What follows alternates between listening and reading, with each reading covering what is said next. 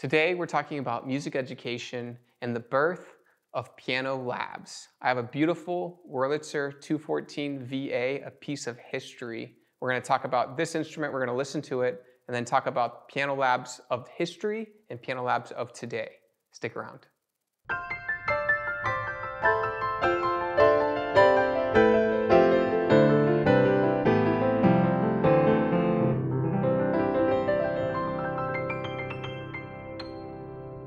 Hi, this is Patrick with Alamo Music Center in San Antonio, Texas. Currently, I am in a very beautiful store, Kawai Piano Galleries of Michigan. If you haven't checked it out, please go visit it. There's one in the Detroit metro area, and there's also one in Traverse City. Um, if you're in the glove, as I've been taught about the Michigan glove. Um, but check it out. Uh, we're doing a video today on a really cool product, the Wurlitzer 200. Um, I actually own a Wurlitzer 200 at my house. It's an incredible instrument. Um, the, the technology behind the Wurlitzer instrument is a piano action that is striking reeds. And so it's making this really beautiful tone. And we're going to play it and listen to it here in a second. Um, but just an incredible sounding instrument that really there's nothing like it. And you know, I'll say this about all electric pianos, whether it's a Fender Rhodes, a Yamaha, uh, they have the CP70, the CP80.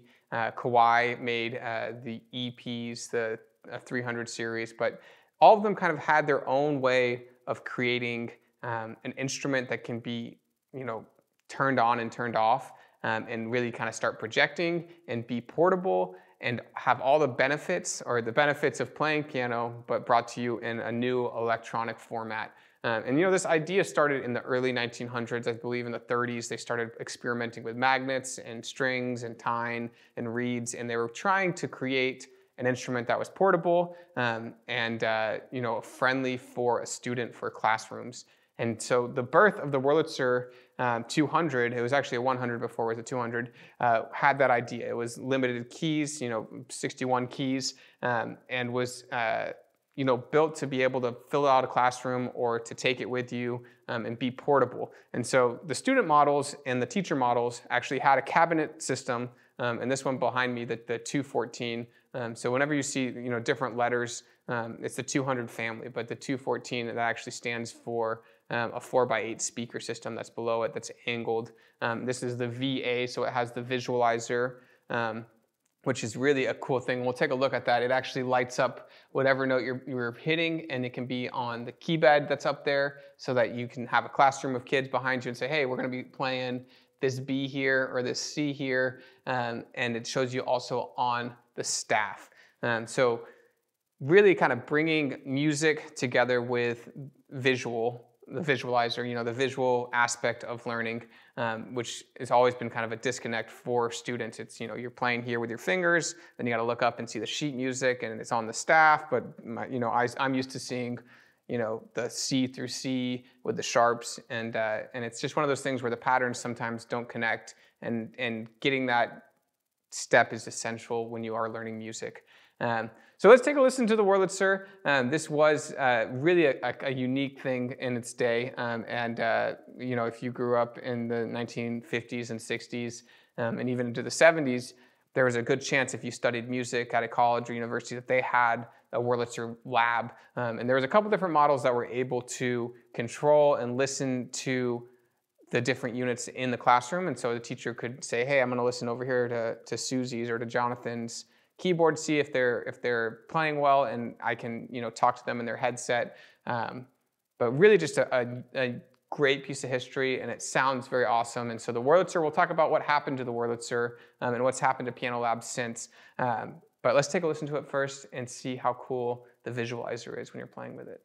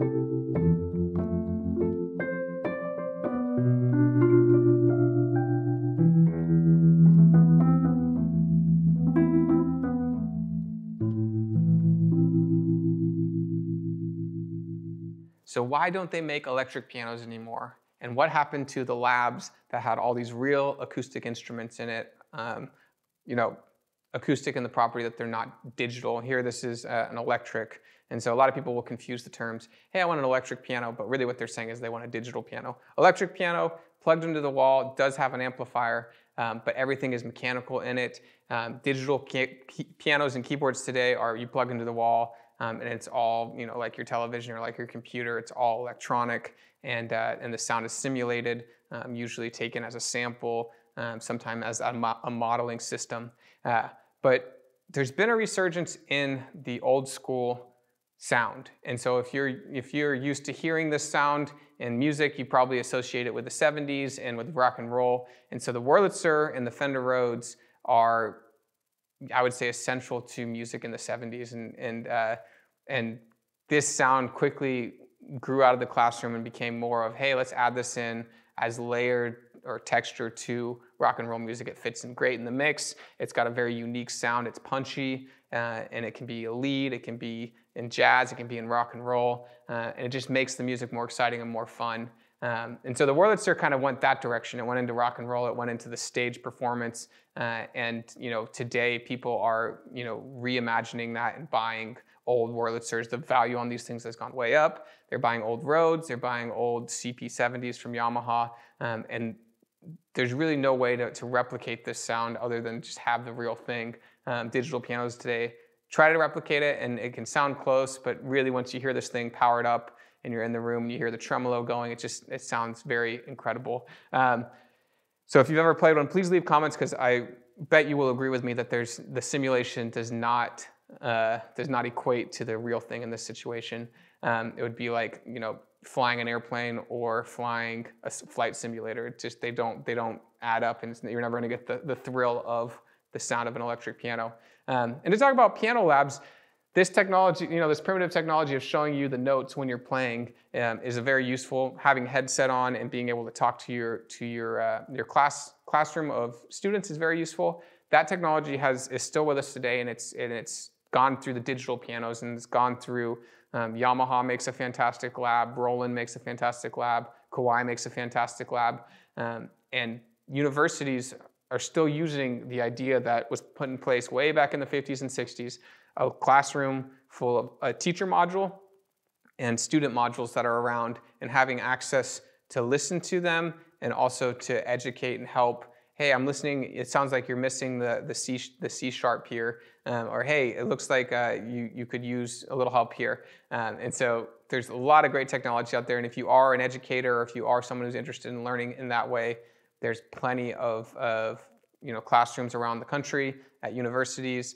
Um, if you're in the music program, you've probably had to take one, had to take beginner piano, um, and you've seen everything from you know the hundred dollar keyboards that you learn on all the way up to you know the couple thousand dollars CA series from Kawai or from Yamaha the, the Clavinova line um, and Roland makes makes uh, the HP series. So uh, really incredible technology and um, you know it's it's it's cool to see that an idea that was born way back in the day on something that you know really kind of changed with music and, and became more of an instrument that people loved um, in a studio mix rather than uh, in a classroom uh, has really started to shape music education um, and the idea of learning in a classroom, but also stays near and dear to our hearts in our music mixes and listening to rock and roll and listening to uh, that, you know, that very nice 70s vibe. Um, well, let, us uh, uh, you know, if you've, if you've ever played one, please leave some comments. Please tell us your experience with them. Uh, let's start a discussion on this because I think uh, it's really neat to hear everyone's perspective on what's the best electric piano. Or I have a Wurlitzer, it was great. Now I have a Rhodes. Um, there's companies like Vintage Vibe that is recreating the, the Fender Rhodes with piano hammers. Um, so just leave comments, let us know what your favorite electric piano is. Let us know if you learned on one of these um, and you remember this, this, whether it's a beautiful green or a hideous green, you can tell us what your opinion is.